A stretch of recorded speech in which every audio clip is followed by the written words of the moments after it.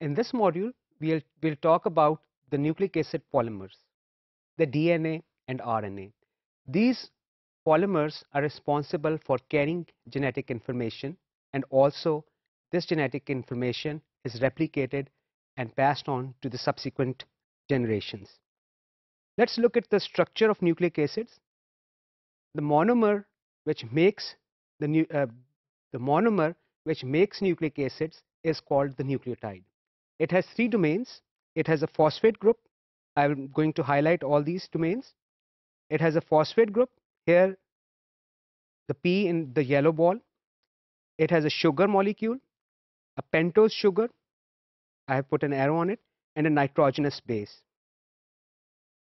Now let's look at the structure of these individual components. Here is the structure of a phosphate group. It is basically phosphoric acid which forms a bond with the pentose sugar. This bond is also an ester bond because it is this bond is formed between an acid and an alcohol. Here the ribose sugar has OH.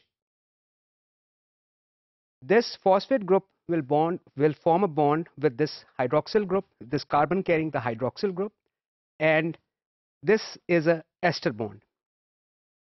Nucleic acids have two types of sugars, pentose sugars, ribose and deoxyribose. The difference here is the hydroxyl group present on the carbon atom number 2. Ribose has that hydroxyl group whereas deoxyribose does not have this hydroxyl group here. Now let's look at the structure of nitrogenous bases. These nitrogenous bases, I'm going to bring that slide up, have uh, these nitrogen bases are cyclic com compounds. Here we go. These nitrogen bases can be in, uh, can be divided into two groups depending upon their structure. The pyrimidines and purines. The pyrimidines have one cyclic structure, whereas purines have two cyclic structures fused together. Here I would like to mention that purines are present, both these purines, adenine and guanine are present in DNA and RNA. Uh, uh, uh, in both, both these purines are present in DNA and RNA. However, in pyrimidines, the thymine is not present in RNA, whereas it is present in DNA. In RNA, in place of thymine, we have uracil. Now I would like to talk, now I would like to talk about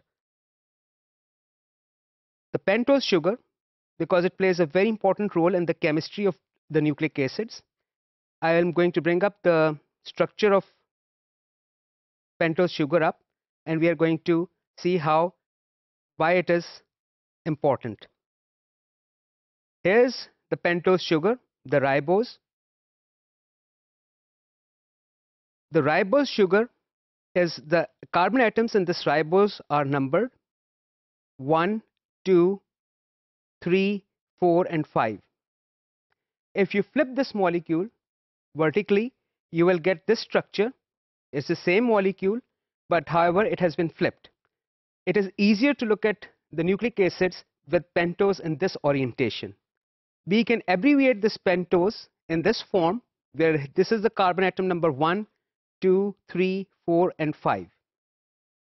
The important point here is that carbon atom number 3 and 5 are linked to phosphate groups. Phosphate group will form an ester linkage with two pentose sugars and the nature of this bond is again as I said ester linkage so this is why this bond is called phosphodiester bond since it is between phosphate and two alcohol groups hydroxyl groups. Therefore it is called phosphodiester bond. This is the backbone of DNA please notice that the backbone of DNA is made up of alternating pentoses and phosphate groups. Next, we will look at how these molecules can contain genetic information.